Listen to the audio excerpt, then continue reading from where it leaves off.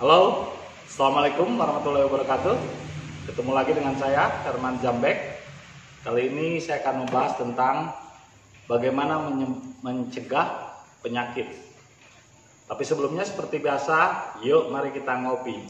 Ngobrol perihal iman, ngobrol perihal Islam. Akhir-akhir ini saya lihat berita di mana saja, itu banyak orang yang lagi ngebahas tentang virus corona. Padahal sebetulnya virus DBD itu lebih berbahaya dari corona. Kalau DBD kurang penanganan 1 kali 24 jam, orang bisa meninggal. Tapi kalau corona, ada kemungkinan orang bisa hidup lagi dan bisa sembuh. Dan itu hanya virus biasa. Tapi ini yang jadi permasalahan berarti banyak orang yang panik Justru kepanikan ini yang lebih berbahaya daripada virus atau penyakit itu sendiri. Dan banyak orang yang ketika panik atau takut, artinya berarti keimanannya kepada Tuhan, keimanannya kepada Allah kurang. Karena rasa takut itu menunjukkan bahwa dirinya tidak iman. Kalau orang itu beriman, maka dia tidak akan memiliki rasa takut. Kenapa kita harus takut? Toh kita ada dan lahir di dunia ini juga bukan atas kehendak kita kita ada karena Allah. Ketika mati pun kita tidak pernah dijadwal dan tidak tahu kapan kita meninggal. Kalau kita meninggal pun untuk apa kita takutkan? Permasalahan takut itu adalah karena kecintaan kita kepada dunia lebih besar daripada kecintaan kita kepada Allah. Itu permasalahan takut. Dan ada satu tip yang saya harus sampaikan bagaimana mencegah penyakit itu timbul dalam diri kita. Walaupun penyakit itu kita nggak pernah tahu kan, influenza, sakit gigi atau apa kita nggak tahu. Yang jelas berarti sakit itu terjadi karena kita kurang ceroboh. Satu, keduanya ini yang paling sakral sebetulnya sodako. Kenapa saya menyangkutkan dengan sodako atau zakat fitrah? Banyak orang yang tidak paham bahwa ketika kita mendapat rezeki itu sama seperti analoginya kita makan kalau Anda makan, tiga piring makan, pasti paling tidak satu, satu piring Anda harus berak. Kalau nggak berak, maka Anda akan terkena penyakit. Coba Anda makan selama dua hari tapi tidak berak. Sudah dipastikan pasti Anda akan kena penyakit. Nah ini ibaratnya analoginya Anda punya rejeki. Tapi Anda tidak mau berbagi dengan orang lain istilahnya pelit, kikir, dan lain sebagainya. Nah ini biasanya yang yang menyebabkan terjadinya banyak penyakit. Tapi ketika Anda bersodako, tidak ketika Anda berjakat fitrah, berbagi dengan orang, bahasa Islam kan jakat ya. Sebetulnya jakat itu yang perlu Anda tahu, jakat itu artinya adalah jakai jaki, yang artinya membersihkan. Berak itu kan, kenapa kita memakan misalnya 80%, kita ngeluarin 25%, itu kan membersihkan. Jadi kalau kita makan pasti harus berak. Nah, jakat fitrah, fungsinya adalah jakat itu adalah membersihkan jadi tidak disebut dengan rezeki Anda jika apa yang kamu makan untuk sendiri. Rezeki Anda itu yang sesungguhnya adalah yang Anda berikan kepada orang lain. Nah banyak orang yang mengejar harta banyak, tapi setelah banyak hartanya tiba-tiba dia sakit. Akhirnya hartanya habis lagi untuk berobat. Untuk apa mengejar benda? Lebih baik kita mengejar ruhnya, mengejar dayanya. Kalau kita mengenal dayanya, daya benda, kita menangkap daya benda, maka bendanya akan ngikutin kita. Tapi kalau kita ngejar bendanya, orang banyak sedikit, tidak sedikit di zaman sekarang ini ngejar benda. Hedonisme, materialisme, itu mengejar benda. Tapi dia tidak menangkap esensi atau inti ruh dari benda itu. Dia ketika mengejar benda, serakah hanya untuk dirinya. Tidak mau berbagi dengan orang lain, akhirnya sakit jadi bisa jadi cara mencegah virus adalah Anda harus terbiasa dan melatih berbagi. Sama halnya seperti Anda makan pasti harus berak.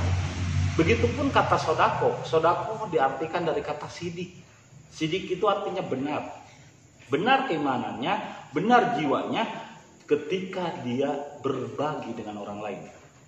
Tapi tidak dikatakan rezeki kalau itu hanya dimakan untuk sendiri. Tapi kita harus berbagi dan harus sharing.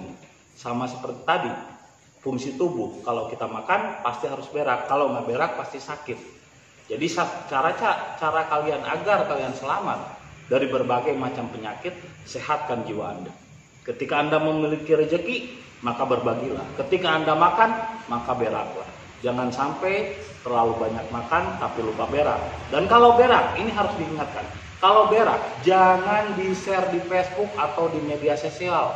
Jadi kalau Anda berbagi dengan orang lain, ini kan ada orang kadang-kadang artis atau orang biasa aja ketika dia dapat rezekinya nggak lihat ya tapi ketika dia berak wow semua orang dikasih tahu oh saya udah masih sodako ke si A ke si B nggak perlu orang berak kan nggak perlu dilihatin nanti kelihatan duburnya dong kalau berak dilihat-lihatin di posting di Facebook kalau anda mau berbagi jangan dilihatkan di medsos kesannya ria itu juga percuma itu hanya akan mempermalukan diri anda sendiri jadi kalau Anda berbagi dilihatkan di posting di media sosial, seolah-olah itu Anda ria. Itu sama dengan Anda berak diperlihatkan kepada setiap orang.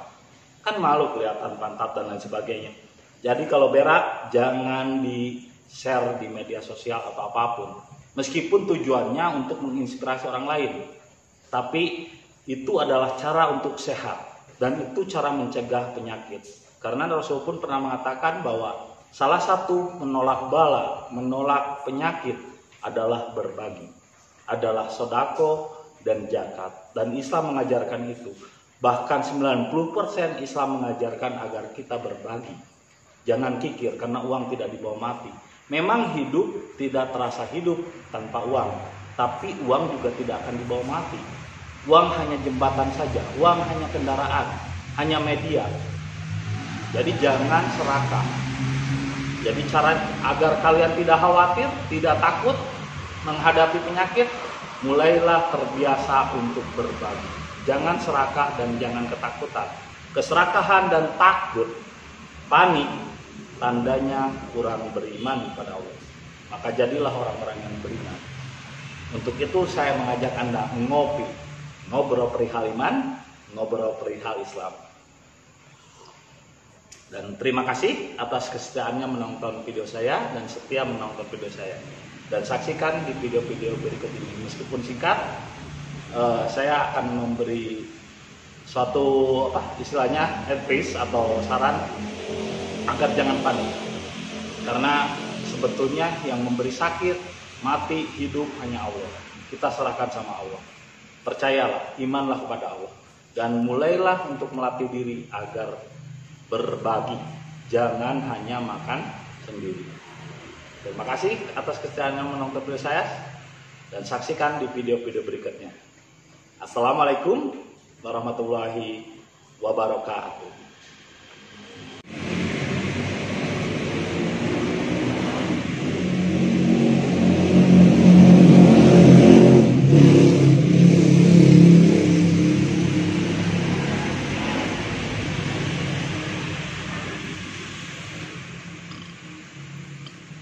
Nah, bagi Anda yang suka biliar bisa datang ke tempat ini DKP eh, apa? The Little Star Cafe and Biliar di Bunda Ratu. Nah, ini lokasinya ya. Ini yang kemarin saya jualan kopi di sini. Tapi sekarang mau dibikin kafe dan biliar.